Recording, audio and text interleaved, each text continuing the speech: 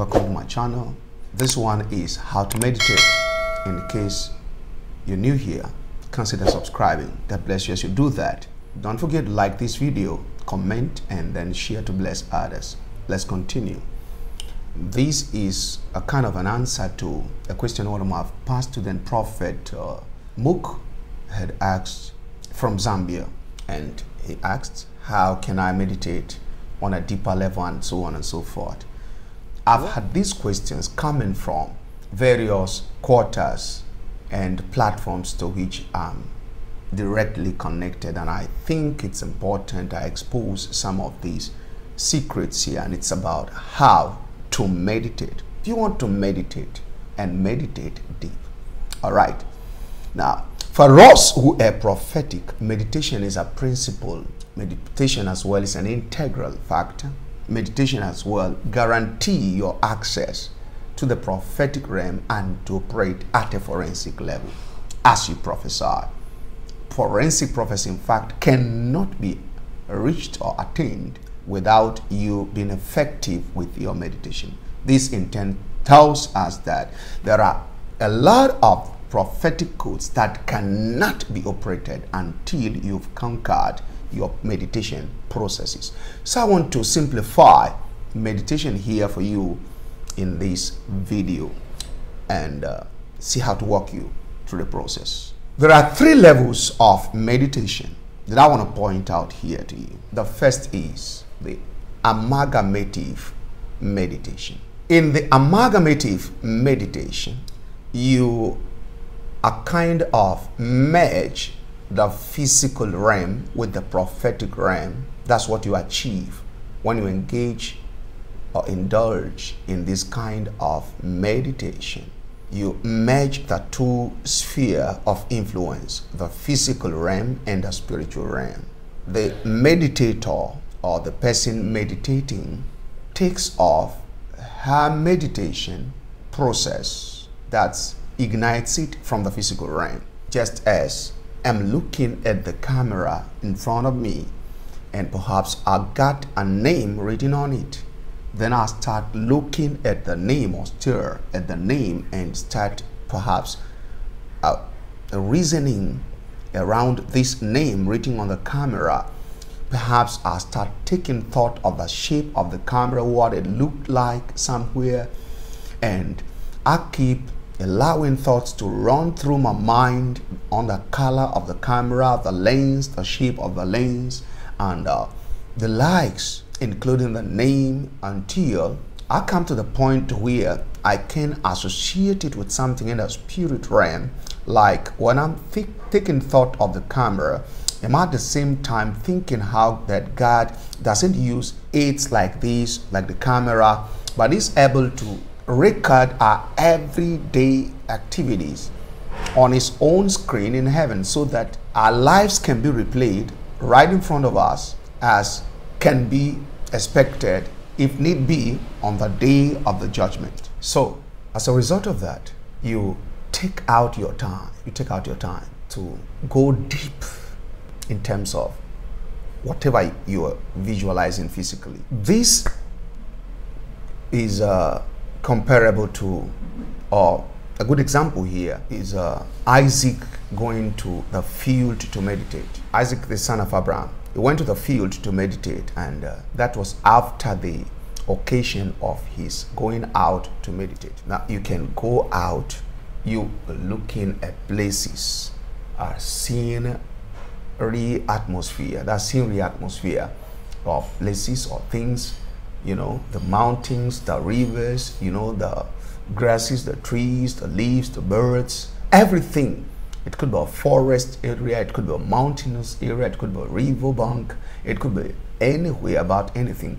And you are like, you know, allowing thoughts to roll through your mind as you begin to visualize this uh, physical environment until you are able to match the physical environment with the spiritual environment you know over time you see yourself going somewhere that you were not before. You start rolling into the other realm. That's a prophetic realm. It comes to a point where you begin to see beyond what you were thinking of from the physical realm and what you began with seeing in the spirit realm to seeing things differentially. That is, that you were not taking thought of per se. At this point, if somebody comes in, you may be able to see through their lives immediately. That's the first uh, stage of or level of meditation. That's one of the, that's the first uh, level of meditation I want to itemize here. The second level of meditation is the integrated meditation. Here, we are not talking about a direct contact with the physical environment. We are talking about the situation whereby you manage to disconnect with yourself, disconnect yourself with disconnect yourself from the physical environment, from the physical environment. You get that? And based on this, what you're left with now is the spiritual environment. And how do we do that? If it's in a closed room, you put or turn off all the lights. Make sure the place is dark. You are seeing nothing physically. Or if the place is not dark, can you try to close your eyes and make sure the place is quiet? Jesus repeatedly and uh, predominantly engaged this approach, recorded in scripture. He would go to the mountains at night to a quiet place at night. Now, there was certainly no electricity then. It was difficult for you to sense the sight of light at any close distance each time Jesus went out to pray somewhere on the mountain alone. He engaged integrated meditation to sharpen himself and to teach me how to do it when it's my time. He's God. He may do none of this and may still do well prophetically, will still do well prophetically. But me, as a human being, that's the only method that will guarantee that I'm able to catch prophecies accurately and be able to follow my prophecies with miracles that are resounding. So he goes to those places at nights and stays there alone. What is he doing? Everywhere is shut up. If there is, there is a sound of, let's say, uh, birds in the night or uh, bush animals or insect, these are probably the sounds that Jesus will be picking, nothing more. But for the visual aspect, physical visualization, shut up. So he have enough time to visualize integratedly. What do I mean here? What he had integrated into his memory is what he now visualizes. Perhaps, let me put it this way the people he saw, the miracles he performed, the way the people reacted, the kinds of people that came around him in the course of his day uh, to day work, Jesus is going to visualize virtually every one of them. The comments they made is going to visualize them to the point where if that person was a witchcraft agent that said something in the afternoon when he was with them out there in the field, Jesus would pick the witchcraft while meditating privately there he would search everybody, search including the apostles. And then the next move is about to make. He shut up from the physical. Everything is now taken in to the spirit realm for processing. So it is there he interacts with all the known facts, all the known details. And then when he comes back, he is sharp. So you must endeavor to create such atmosphere where you are cut off from men to meditate, you know, uh, on an integrated note. Get my point? The place have to be dark or you have your eyes closed and the place is quiet enough, serene enough. That's a condition to be for you to be able to engage integrated meditation. Please. And make sure when you do so, you are able to silence your mind of noise. Because there are occasions where you are at such a place and the lights are tripped off and you are like you want to meditate and mind noise is coming in. There's difference between mind noise and the conscious engagement of meditation. Here is the difference.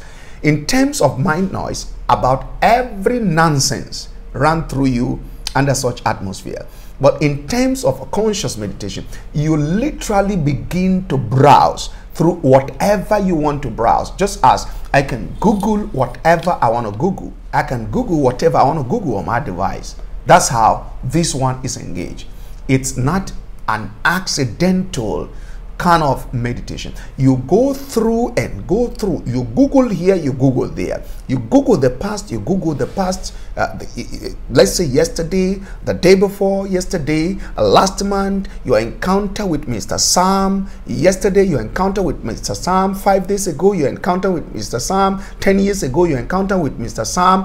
Uh, 15 years ago, 5 years ago, uh, 10 years ago, 7 years ago, you put everything together, you visualize this again and again until you are able to come out with something out of what you're meditating upon. This can as well be done using or engaging scriptures, but the condition is that this place is dark and serene, so you are able to do a, an integrated meditation under this atmosphere.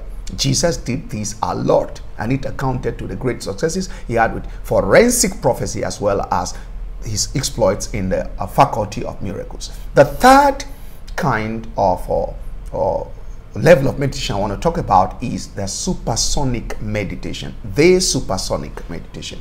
Here, you are something spiritual. Here, you have come to a level. This is the level where major prophets or the sharpest prophets operate. They are capable of transisting between this realm and that realm. They can do this with ease. And that's why these people are reclusive. They are not always with you because some of the things they do, you can't be by them and they do those things. These are spiritual uh, sort of exercise. They pick them up from the scripture and they do nothing of scripture at all. But what I want to make you understand is that their approach to living, you can't uh, do that unless you want to. So you have to learn, just like Joshua was there with Moses. The kind of life Joshua was living around Moses, not many among his peers would be able to cope with that kind of life. So, and he was privileged to tap into some of these other things that other of his peers could not uh, uh, tap into. So get me this was Moses. This was Jesus. There are occasions where they do supersonic meditation. In supersonic meditation, you take off from this realm. In most cases, you do this by engaging uh, uh, trance. In trance, you just decide to leave this realm shift into the other realm, visualize things in that realm, then come back to this realm. There are occasions where you look or pick a particular issue you want to browse, then you leave this realm, you switch to the other realm, view everything about it, come back to yourself. So uh, you don't need disturbance too with these and not necessarily under a dark atmosphere. Like I said in integrated meditation, the place can be uh, uh, lit up, but you have to uh, be separated too from people. Now, this is this is about the supersonic meditation and supersonic meditation is such that it is faster than any search engine you can imagine on earth in terms of operation. You Googling issues. I mean, you Google issues here.